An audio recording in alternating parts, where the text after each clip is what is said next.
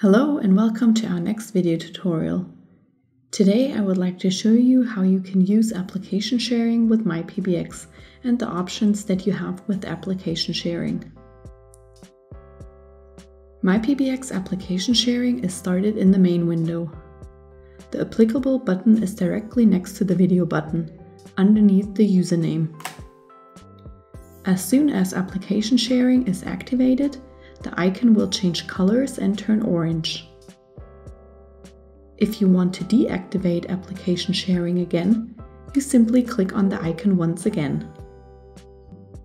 Application sharing is always started for the parties currently taking part in the call.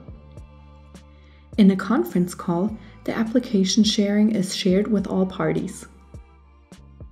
Click on the application sharing button to open the control window.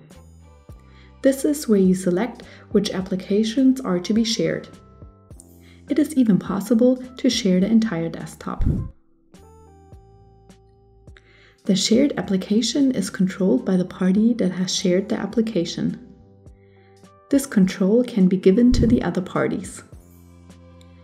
If there are several parties, you can select the name to whom control should be given. The other parties can also send a request to take control.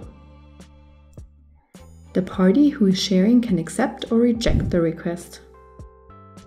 Press Unshare next to the name of the person who has control to take back control.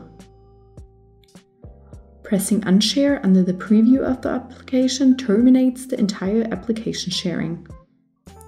Application sharing ends automatically when the call is terminated. We would be happy to receive your feedback on topics we could discuss in our next video tutorials. Simply suggest your ideas by writing us a comment and we will create the tutorials accordingly. If you like our series, we would be delighted if you gave us a thumbs up. Also, don't forget to activate the alarm bell to have the latest videos displayed. Thanks for watching and until next time.